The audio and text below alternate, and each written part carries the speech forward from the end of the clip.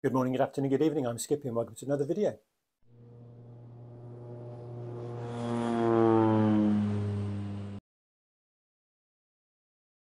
Okay, so this is plans to be the last video of the build of the Guillows Fokker DR1 triplane. This is where we're at so far.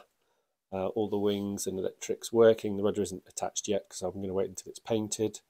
Uh, need to sort out the um, piece of card that goes there to form the canopy and I just need to tidy up uh, the wiring on the cabanes there but otherwise everything has come together quite nicely.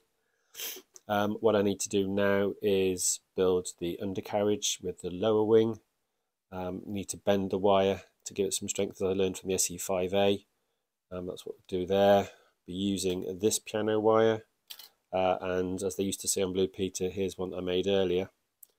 Um, before I thought about making the video, obviously, I forgot. Uh, that fits quite neatly over the template, so I'm going to make another one of these now.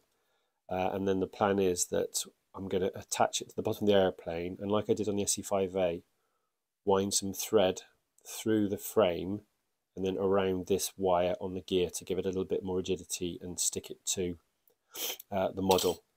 Regards the wing and the wheels and the axle, what I've already done is I've slot cut a groove that the axle fits neatly into. That can then be super glued and doesn't rotate and I'll have the wheels rotating like I have here on a piece of wire, again thin piano wire.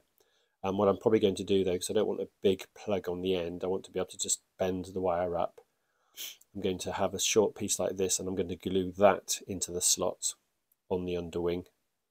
Um, and then that will ensure that both wheels rotate freely individually, but have a neat little piece of bent wire um, on the end there. So I'm going to get on now and build uh, the wing. I will, I've already made a hole um, for where the wooden legs go. They slot in there. Um, I'll glue those in once I've put the wire on uh, and then I'll work out a neater way of attaching it to the underside of the fuselage. So I shall get on and do this and I'll probably just do photos as I go and maybe a video at the end of it to sum it all up and see how it went.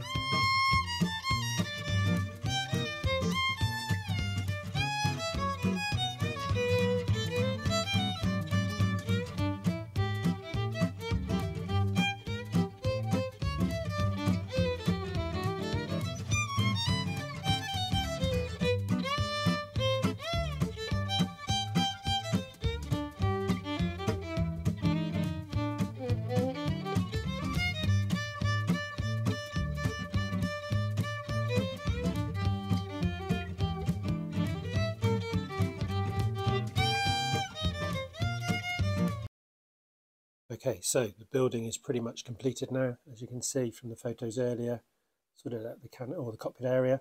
Excuse me. Um, I've got the wheels ready to go on their axles, which will fit into the subwing. I've cut a groove in there. Obviously, this will all be tidied up. Um, and I've got the wire strengthening it. I may cover that bit of wire there that's sticking up.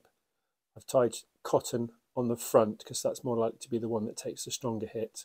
And having put the wooden extra pieces in there, I'm pretty confident at the well, I'm happy at the moment that the rear strut should be strong enough. It's a very light model um, compared to when I made the SE5A, so I'm hoping that it won't take as much um, hit or won't be as heavy a hit when it lands.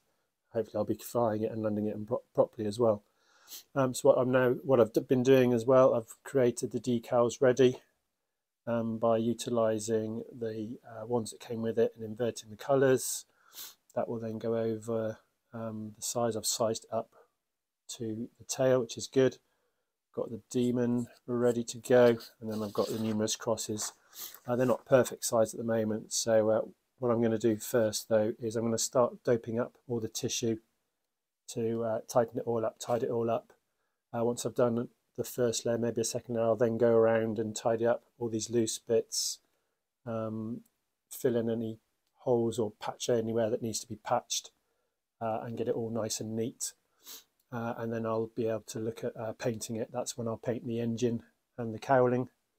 Um, I'll probably just do a light coat of white on the tail for now.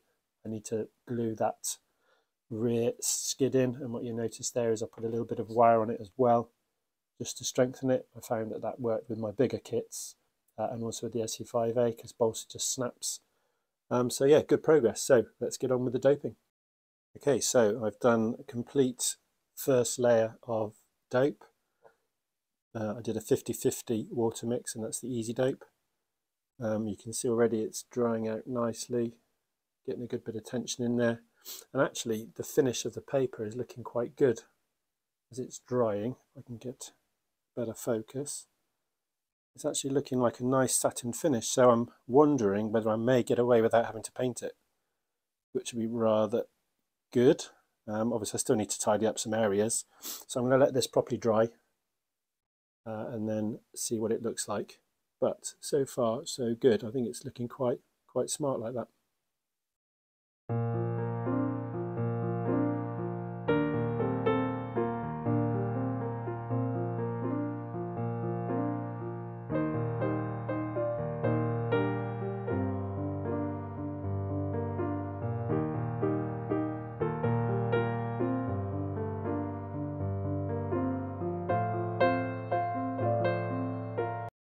Don't know about you guys, but sometimes when I'm doing a model, I just get a little bit carried away and I forget that I should be doing photos and video clips.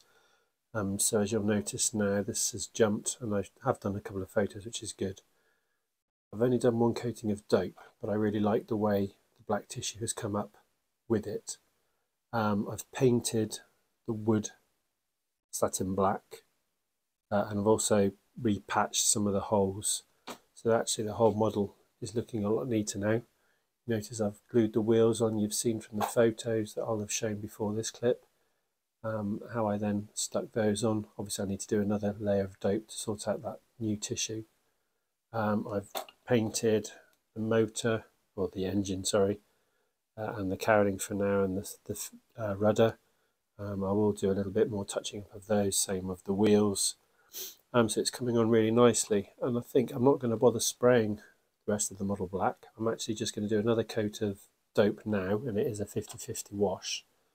Oh yeah, I actually um, fixed in the rear skid. I've used a pin like I did on the SE5 just to secure that in. I'm anticipating that that will probably fall off on its first heavy landing, but for now at least it looks all right. Um, so yeah, I'm going to do another coating of dope um, and then I'll look at doing the decals, but I'm really pleased how that's come out. That's a really nice finish with just black tissue and 50-50 easy dope.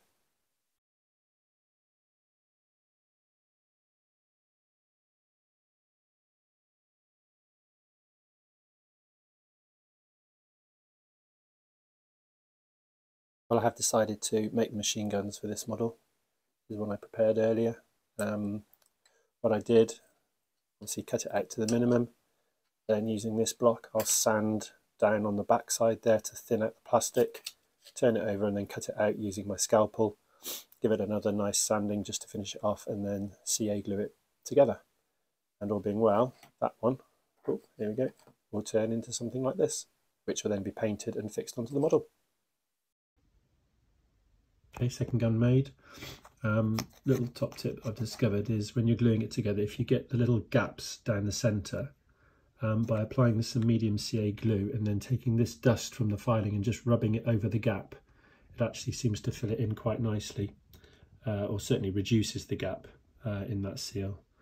Not so good there, but yeah, if you just take the, the sandings, run them over the glue, it fills it in and uh, hopefully that'll give a little bit of extra strength. So a little top tip there for me. Hopefully that will be good for you. So unusually I've not done any airbrushing on this model. This time I decided to keep as I said, the tissue that I used, which was black and which was a good call, uh, doped up. I've painted the white tail over the white tissue. I've painted the white plastic for the motor. That's a combination of base black and uh, silver. Uh, and I've brush painted the cowling. And what I now need to do is secure the cowling onto the front of the model. So to do that, first I've just drilled a little hole in the top, which will go through to the wooden block, which I showed uh, when I was building it. So there you go. I'll screw that one in place. Then I'll make sure that the motor inside rotates freely within the front of the cowl. Um, drill a little hole on the side, screw that in. Same on the other side, and then that'll be the cowl nice and secure, and hopefully it will mean that the motor free rotates. All three screws nice and neatly in. And then the test is to see if it spins freely. No rubbing. So pretty good, happy with that. If we try and zoom in, there is a space all the way around. It's a little bit tighter at the bottom, but there's no friction, no rubbing on it anyway. So all good. To create um, the leather cockpit surround, uh, I've used an old shoelace, something I thought of whilst I was having my coffee just now. Um, so I've super glued that around the edge, glued it in the centre. Actually, I think it doesn't look too bad. So quite pleased with that. A little bit of um, utilisation of a spare lace had in the drawer.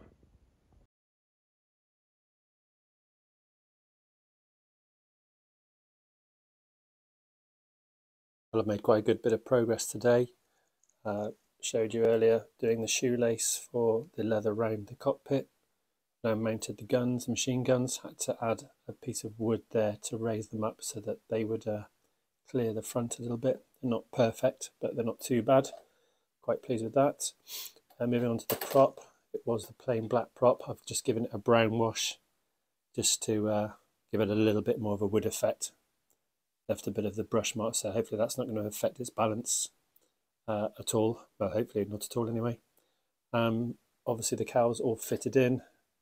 I've added the wire ground loop at the back there the step and the loop on the other side as well um, there is a mistake there which those of you if you spot it please put it in the comments below um, but I'm pretty happy with how that's gone so yeah, I'm now at the stage where I can start putting the decals on and then that'll finish it off really nicely, I think. So moving on to the decals, um, it's very rare that I ever use the decals that come with the kits. I just don't really like the thickness of them. Uh, and also because I'm doing my own model type or my own representation of an aircraft, because don't forget this isn't a replica, I'm just doing a representation of that model because I quite like it. Um, I tend to use the decals that come with the model as a template for size, I'll then create them on paper um, so the right scale, cut them out and then put them up against the model just to see how they look so I make sure that it does look right um, and then I'll print them onto the waterslide decal paper which is a bit more expensive. Now originally I was going to use this demon um, which I used on my larger flare kit um, but I didn't like the fact it didn't actually have more of the, flames or the smoke whatever it is coming off um, and I found this one um, so again, with a little bit of Photoshop, i have created this, which gives it, it's a better size on this size model. And I quite like the fact that it's got the whole plume all the way out to the front there. Um, so I've made sure that I've got everything measured up. I've even done the weight piece, although I'm not sure on this kit it will have it, but if I can fit it on, I'll put it in because I quite like the fact that I've achieved doing that as well. Um, when I actually make the decal, I'll cut around it to soften the edges uh, and then if any white shows from underneath, I'll just do a thin black line to cover it over. Um, so printing onto waterslide decal paper. This is the finished product that I've got here. I'm very happy with how it's come out, nice and clear. Um, obviously, I won't be using all of this tail section. I'll probably just use the crosses now because these are just Guillow's pieces, I believe. Um, so that's the main picture bits, and then obviously the crosses underneath uh, there. I let it dry for a good half an hour. I've then given it several coats of satin varnish to hopefully seal the ink in. Um, so before I use these decals here, I'll just try the cross on the back. Um, this is easier to replace uh, and obviously I'll put it onto the rudder there.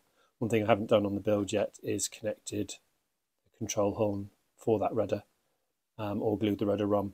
Um, I'll do that once the decal is nicely secured. So the next step is to put the decals on and um, hopefully have it looking something like that by the time it's finished.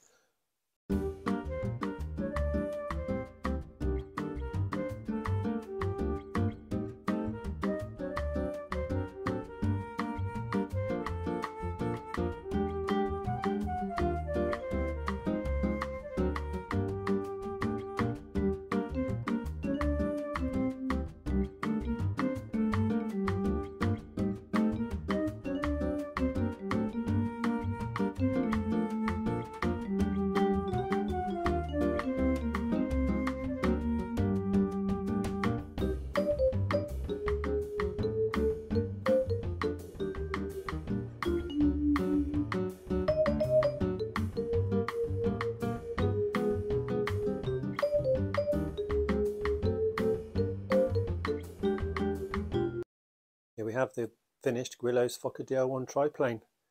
S3X is all working. The battery fits neatly into the section in there. All the services are work or surfaces, sorry, are working as they should. Ailerons. Rudder, need to reverse that. Elevator and give the proper little tweak. Now one thing I've noticed, there's a slight rubbing with the prop and it's at the bottom piece there if you can see it. Literally just at the bottom there. And here it's not quite a nice tone. There's plenty of power from that motor when I uh, wound it up just a minute ago which is really good. Um, the red light doesn't shine through too much so I'm very happy with that. But I think that's come out really nicely. It's all decaled up. I've sealed it with um, the non-satin, or sorry, the satin varnish. Um, so all that's really left to do now is get the maiden flight in. Now the good news about that, we lost our club at the end of last year, but through negotiations with the landlord, um, myself and the chairman have now managed to get permission to fly back at our old club. So hopefully from the 1st of April, we'll be flying there, and that's why I hope to be the maiden of this aeroplane. So please stand by for the next part of this video series. I'm going on holiday for a week or two, so there is going to be a break for which I apologise. Um, but when I come back, hopefully we'll get this flying. Thanks for watching. Thanks for your support and keep subscribing.